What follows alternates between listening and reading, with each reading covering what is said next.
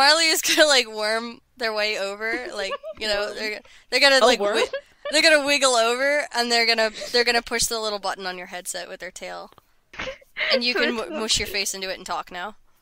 Hey, Leona, I can't can't really hear exactly what you're saying, but like we're tied up? Literally.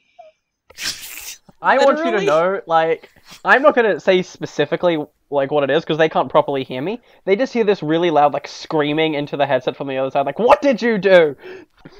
The very first thing she says is, "What did you do?" I I fell. You know that Of happened you last time we tried to get the chimera. This is this happens every time actually. Maybe I just shouldn't.